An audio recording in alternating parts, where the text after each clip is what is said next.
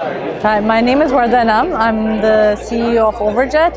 Uh, Overjet is a startup in, uh, in providing AI for dentistry. Uh, and we provide solutions such as computer vision, natural language processing solutions for the largest dental insurance companies to automate claim processing as well as dental groups to ensure that the right quality of care is being provided in these practices. Yeah, so I basically had a personal experience. I went to, uh, I changed my dentist and get, went to a new dentist and who gave me a treatment plan which was very different than what I had received before. And that got me interested in like complexity of dental diagnosis and what was actually right and who was actually right here. So uh, what did not sit well with me was that I thought it should have been more of a science rather than it was being perceived as an art. And that's why I decided to start a company uh, using AI and uh, technology to help improve the quality of diagnosis that, is, that was being provided.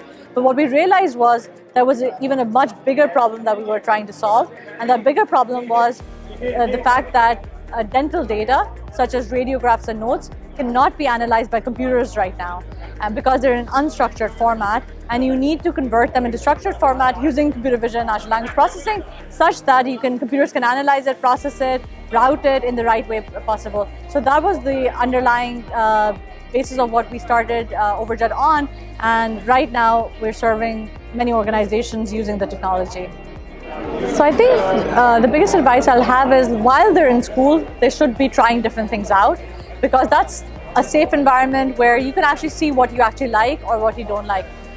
You know, entrepreneurship might be for you or it might not be for you, and, and both are actually good uh, career paths.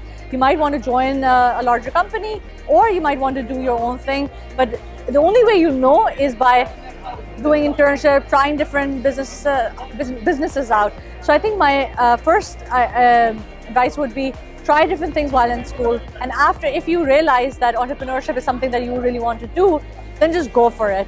And, you know, I think the biggest thing I hear is uh, sometimes people don't know what is the idea that I should work on, or I don't think the idea is important enough for me to work on. But I think the, you know, going and pursuing something that you're passionate about and trying to delve deeper into it, you know, the first time you start thinking about something, it might not, you might not have the best idea to start off with. But as you go, go deeper into the, the problem, you start realizing uh, whether it is niche solutions or, other solutions that will help solve that problem. So trying to find problems rather than trying to find solutions is something that I think would be another uh, thing to emphasize is, you know, there are a lot of problems around us, whether you've faced it or you've uh, experienced other people face it, or whether it is uh, in organizations.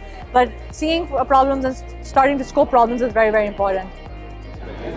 So this was my first Open Silicon Valley event. I've attended other open events. I, am coming from Boston, so I've attended Open Boston events.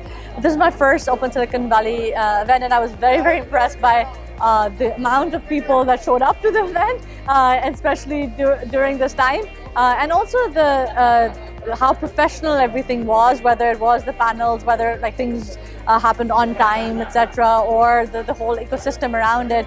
So uh, I, I think I enjoyed it so much that I'm like actually thinking of moving here. So I think you know that that, uh, that might tell you how successful this event really was.